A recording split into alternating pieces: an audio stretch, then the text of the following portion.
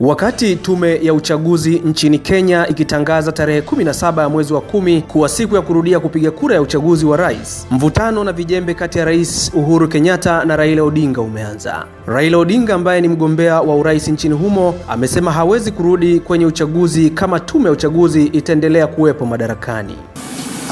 Hatuwezi kukubali wale wizi wezi ambayo waliiba kura wapewe fursa tena kurudia kusimamia hiyo uchaguzi. Hiyo ni kama kuchukua fisi au mchungaji wa mbuzi wetu. Wale hawezi kuchunga sema vile vile, nataka ile mitambo ambayo ilitumika kurusha matokeo kutoka kwenye vituo vya kupiga kura hadi ya kituo ya kitaifa na kituo ya constituency vile vile iangaliwe na ikaguliwe. Maana yake mahakama ilitoa uamuzi ati tukubaliwe kuingia katika ile mtambo saba na tukague, lakini hiyo ukaguzi ilikataliwa na tume ya uchaguzi. Sasa vile wakili wetu walisema, ikiwa kama mtu anakataa kutoa ushahidi na yeye najua kwamba hiyo ushahidi itakuwa ni dhidi yake. Bwana Raila Odinga amekwenda mbali zaidi na kutaka kampuni ya Ufaransa iliyoingiza mitambo ya kurushia matokeo ya uchaguzi nayo ichunguzwe na kuchukuliwa hatua za kisheria. Sisi tunasema hata ile kampuni ya Ufaransa ambayo ndiyo ilileta ile mitambo ya kurusha matokeo ya, ya uchaguzi kutoka kwenye vituo mpaka chuo ya kitaifa, vile vile ifanyiwe uchunguzi na serikali ya Ufaransa hiyo kampuni ambayo inaitwa Safran ya Ufaransa na uh, ichukuliwe. Tena tumetaja majina ya wale maafisa wa IBC ambayo tunataka wachukuliwe hatua kamili. Tumesema tuko tayari kwa uchaguzi, lakini uchaguzi sio uchaguzi bandia kama ile ambayo tumetokea. Kwa hivyo tumesema hakuna uchaguzi tarehe kumi na saba na mwezi ujao. Maana yake IBC ingeshauriana na sisi na walikataa kushauriana na sisi, mashauriana tu na Jubilee amechukua amri ya bwana Matiang'i, ndio sababu wakaweka hiyo tarehe ya kumi na saba. Tumesema mahakama ilisema siku tisaini itakwisha, sitini siku sitini itaisha tarehe moja mwezi wa Novemba.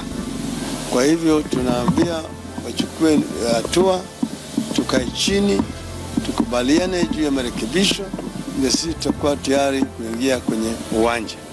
Hatuogopi uchaguzi, sisi tuko tayari, tulikuwa tayari jana. Hatutaki nusu mkati, hatuwezi kuchukua mkati kutoka kwa mwizi. Sisi tunatoka Wakati Raila Odinga akigoma kurudi kwenye uchaguzi hadi tume ibadilishwe, Rais Kenyatta ameendelea kusisitiza kwamba hakubaliani na maamuzi ya mahakama ya kufuta matokeo huku akisisitiza kwamba ni lazima afuatilie uamuzi huo.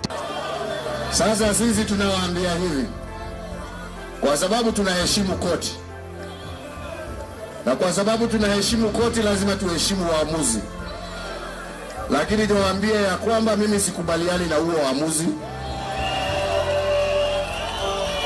Hmm. Na bado nitaufuatilia huo uamuzi, lakini kwa sasa, kwa sababu ya heshima ya sheria, sisi tunasema turudi kazini. Tumekuja kuwauliza tena wenzetu wa Ongata Rongai, mko tayari kurudia kazi? Mko tayari kurudia kazi?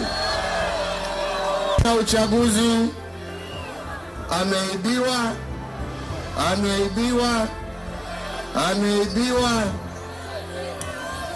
Sasa ameenda kotini. Wazee wengine hapo wamesema uchaguzi urudiwe, na wenzetu shida na ile ambayo inayaibisha hata zaidi.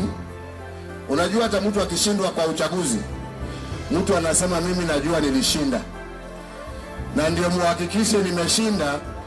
Fungua hizi debe tuhesabu moja moja moja, uone nilishinda.